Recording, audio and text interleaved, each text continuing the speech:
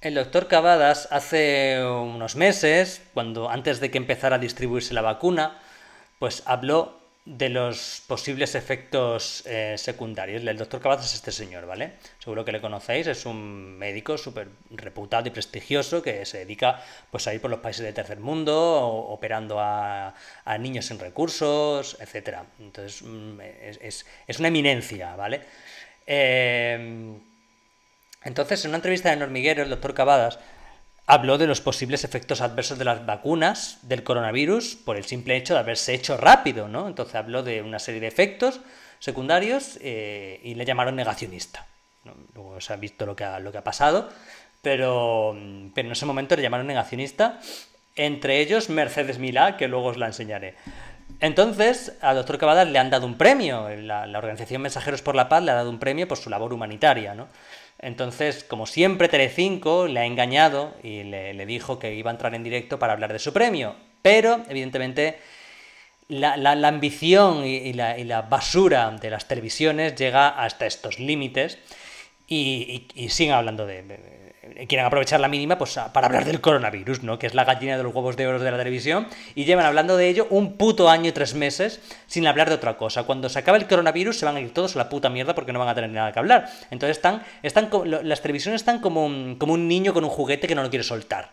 No quieren que se acabe la pandemia y quieren que siga muriendo gente. Esta señora, Sonsoles Onega, quiere que siga muriendo gente. Susana Griso quieren que siga muriendo gente. Las televisiones, Ferreras, quieren que siga muriendo gente. Ana Pastor quieren que siga muriendo gente. Porque esto les está dando audiencia. El coronavirus les está dando audiencia. Entonces, cuanta más gente muera, mejor para ellos. Entonces, este señor, el, doctor Cavadas, que ha ido a hablar de su premio, ha venido a hablar de su libro, pero la señora Sonsoles Onega pues, ha aprovechado para decirle que hable sobre las vacunas, ¿vale? Entonces, esta ha sido la reacción del doctor Cavadas al Premio Mensajeros de la Paz de Honor por su compromiso social y humanitario sin límites. Lo primero, doctor, enhorabuena por el premio. Gracias, muchas gracias. Usted sabe mucho y sabe mucho de vacunas, predijo en su día los efectos adversos que podían producir las vacunas. El tiempo le ha dado la razón, pero es verdad que ninguna vacuna se ha retirado. Eh, mejor, ¿no, doctor? Eh, disculpe, ¿no era lo del premio? Yo es que las vacunas, con todo, con todo mi respeto, de verdad, si es que no me interesan, me han liado en eso y es que me dan, me dan igual.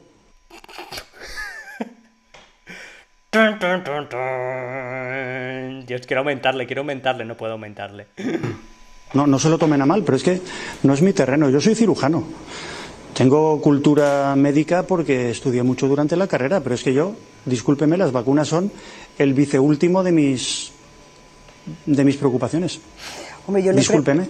No, no, yo le disculpo, por supuesto, le pregunto por las vacunas porque es lo que a todos eh, efectivamente nos preocupa, porque usted en alguna ocasión ha hablado de vacunas, siempre, siempre acertando, y nos parece siempre un testimonio interesantísimo en este momento en el que nos invade un mar de dudas.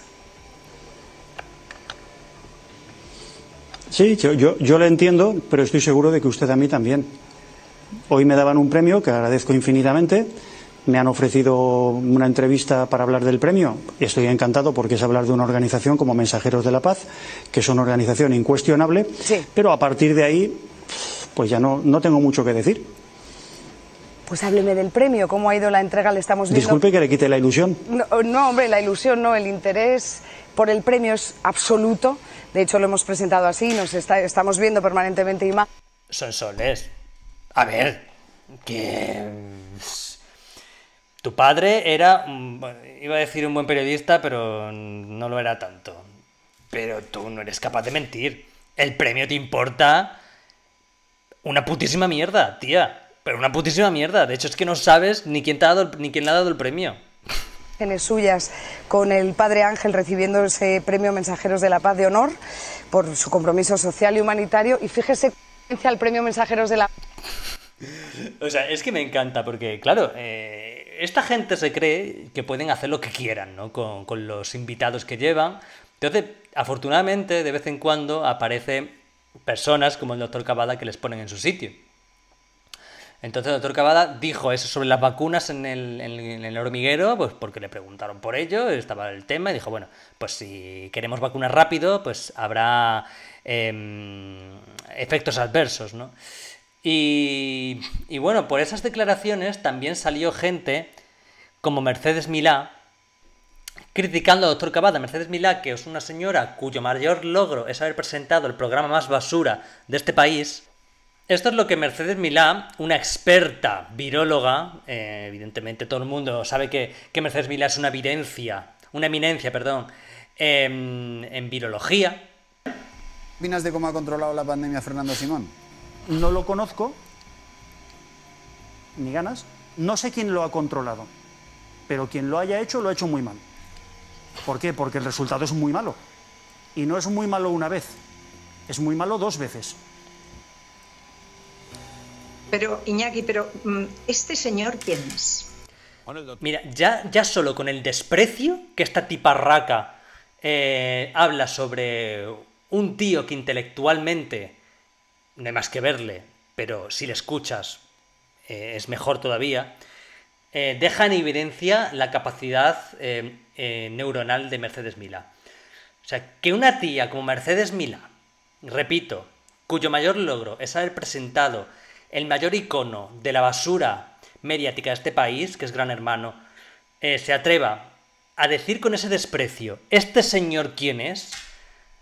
A un tío que, que se juega la vida en países en guerra operando a niños, ya solo con eso da cuenta de, de la catadura moral de esta señora. Cavadas es un, es un, gran experto, es un médico muy conocido y que además desarrolla una importantísima labor en, en África con gente muy desfavorecida, la que está llevando, por ejemplo, eh, cirugía, medicina, atención médica, es un médico muy conocido. ¿En dónde trabaja? Eh, intenta pillar por algún sitio para, para, para, parecer que, que no es tonta para que eh, intente parecer que el doctor Cavadas es alguien que, que, en su mente es pues un médico sin prestigio o intentar ver algún resquicio al que ella se pueda agarrar para desprestigiarle. Pero ni siquiera Iñaki López es capaz de hacerlo.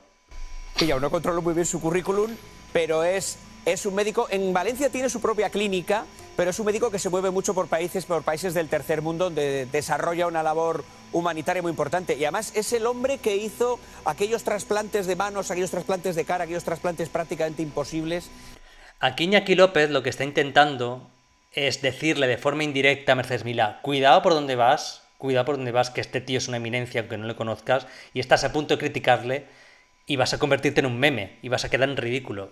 Esto se lo está intentando decir Iñaki López de forma... Ay, Mercedes, ten cuidado, ¿eh? Pero no lo pilla, la pobre no lo pilla. Pues chochea ya.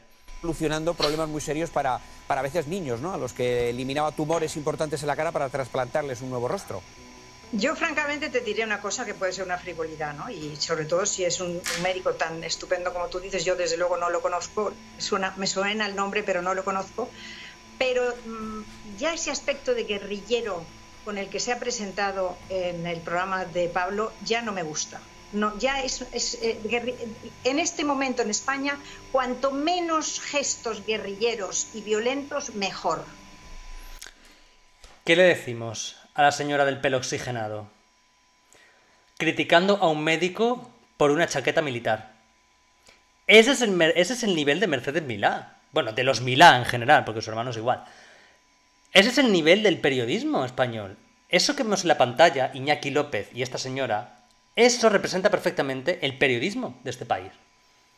Un señor sectario que presenta un programa sectario y una señora intelectualmente paupérrima y deplorable, que desde el sofá de su casa, tocándose el chochamen, se atreve a, a cuestionar la labor de un prestigioso médico que salva vidas todos los días en base al color de la chaqueta que tiene. Ese es el nivel de Mercedes Milá. Ese es el nivel de Mercedes Milá. Increíble. Pero lo mejor es que luego, a ver si encuentro otras declaraciones, si las encontráis me lo decir, voy a buscarlas yo, mientras. Donde Mercedes Milá alaba la gestión de, de Fernando Simón, ¿no? Vamos a buscarla. pero mm, a mí me merece muchísimo respeto. ¿Qué quieres que te diga? O sea, no voy a decir lo contrario porque es que me lo merece. Creo que tenemos una inmensa suerte de tener a Fernando Simón en estas circunstancias. 100.000 muertos a sus espaldas, mentira tras mentira. Fernando Simón es un tipo que es un psicópata porque no ha parado de mentir desde el primer momento de la pandemia, que alentó, o al menos dijo que no pasaba nada eh, a la hora de que la gente acudiera a eventos multitudinarios y manifestaciones. Em, todas sus, sus, premoniciones acerca de la pandemia han sido falsas, han sido, no han sido equivocaciones, han sido mentiras. Pero Mercedes Milá dice que tenemos una inmensa suerte de tener a Fernando Simón y, y que el doctor Cavadas es un guerrillero porque lleva una chaqueta militar. Es normal que esta señora esté en paro. Yo entiendo que esta señora esté en paro. Porque mm, cualquier persona con dos dedos de frente evitaría contratar a una persona deplorable como Mercedes Milá. Repito, una señora venida menos. Yo me acuerdo cuando hace tiempo un concursante de Gran Hermano, no porque yo lo viera, sino porque ha sido muy viral ese vídeo, le dijo en mitad de una entrevista Mercedes chocheas y se fue del plató. Vamos a buscarlo. Esto fue la, la, declaración sobre Mercedes Milá más certera que yo he escuchado en mi vida. Me sentó muy mal, ¿sabes? más a sabiendas de que, como bien sabes, y perdona porque sé que esto está un poco fuera de lugar en este momento. Pues totalmente, francamente. Bien, muy bien, pero vale, yo te explico, ¿vale? No, es que no me vas a explicar nada. No, sí, por favor. No me vas a explicar nada. Por una vez no me cortes el rollo como haces siempre, Por la sencilla razón de que esto es una grosería y cuando tú quieras levantas la mano y te doy la palabra. y si no, con te el debido respeto, chocheas. Uh, lo que me faltaba por Y mucho. esto fue, esto fue, fue apoteósico. Yo creo que aquí fue el declive de Mercedes Milá que alguien se atreva a decirle a la cara, ¿no, no, habéis, visto, no, habéis visto este vídeo? Esto es grandioso. Es grandioso este vídeo. O sea, porque además se quedó planchada. Yo creo que es la única persona que ha conseguido dejar en eh, planchada a Mercedes Milá. Pues Mercedes Milá, que es una tía que no se calla nunca, que siempre tiene respuestas para todo. Y este tío, un random de gran hermano, consiguió dejarla planchada y callada. Totalmente merecido. Y ahí, esto tiene. 15 pues, años tendrá perfectamente este vídeo, ¿eh? O sea, imaginaos lo que chocheará ahora esa señora.